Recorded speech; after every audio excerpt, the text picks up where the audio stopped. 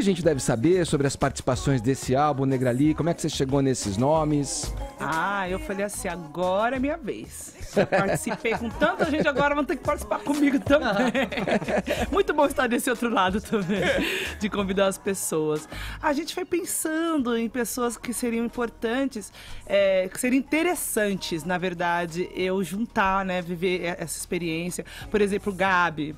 Sim. Né, o Gabi é muito jovem e muito gênio, muito talentoso, cara. Canta muito. Ele chegou lá e escreveu a música assim, e meia hora e eu, fico encantada e adoro estar com jovens, com essas pessoas. O Gabi, ele é filho do, do sambista, do Rodriguinho, do Rodriguinho não é? cara. É. Nossa, como a gente faz versões melhores da gente, né? Eu, eu, sério. Acho que é o, verdade. o Rodriguinho deve ser muito orgulhoso. Acho que é verdade. Seu Jorge, eu, fui- eu sempre fui fã.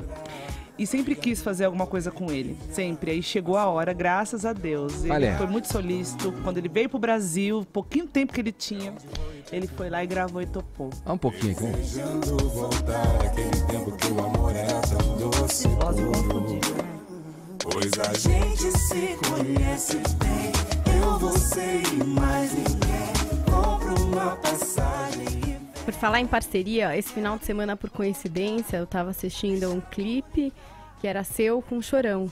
Ah, que delícia. Do acústico, E não eu é? acho é, acústico. exatamente. E eu acho que muitas pessoas acabaram conhecendo a Negra ali Com pela certeza. participação do Chorão. E depois eu fui procurar na internet outras coisas tal. E aí eu assisti você no Serginho Groisman falando da importância desse lugar que você falava assim, é, é, esse lugar que ele me deu e que não deu tempo de retribuir tanto. Queria que você Verdade. falasse um pouco sobre essa parceria. Ai, nossa, é, todo mundo que pergunta, ai, você já fez tantas é, parcerias, quais, qual a mais importante? Lógico que se não fosse o RZO ter me dado espaço, o Chorão não me conheceria. Então não dá nem pra falar. RZO é a parte, é, é a minha casa. Mas o, a, a participação especial que eu fiz com o Charlie Brown mudou a minha vida, porque até então eu era conhecida no, no movimento hip hop. Foi através dessa participação que eu fui conhecida pelo Brasil todo e assinei com a gravadora e tudo. E foi muito importante pra mim. Esses dias eu cantei em Santos e eu sempre cantei a música deles no meu show, né? A música nossa, né? Nos meus shows, mas quando eu cantei lá, cara, eu não conseguia, eu tremia, eu chorei, assim, eu me emocionei muito, porque eu sentia a vibração, sabe? Por ser o lugar on- onde eles nasceram, moravam e, poxa, foi muito triste, assim, porque eu queria que ele me visse crescer, que ele me visse hoje, que eu pudesse falar chorão, sabe? Podia- Se pudesse ter mais oportunidade de falar com ele, de agradecer, porque no começo da carreira ele não só me deu espaço, ele me deu muitos conselhos também. E eu lembro de todas as palavras dele. Ele me ajudou a abrir um pouco a minha mente, porque eu tinha a mente muito fechada do rap, assim, eu achava que não, não pode, não sei o que, não. Ele li, a gravadora quer assinar, tá, vai te dar uma entrada, não, que vou, vou me vender. Aí ele li, a Xuxa falou pessoalmente que quer que você vá lá cantar música comigo, vamos. Eu, não, o quê? Eu nunca fui na televisão, sou do rap, vou lá pra cantar rock. Ele li, por favor, você não pode pensar assim. Aí ele conversava, me explicava tudo. Tinha a maior paciência comigo, sabe? De, de entender que eu era desse jeito por causa do universo que eu vivia. Então ele tinha uma paciência de me explicar e tal. E de falar que não seria fácil também a fama, que ia vir um monte de coisas ruins junto com as coisas boas.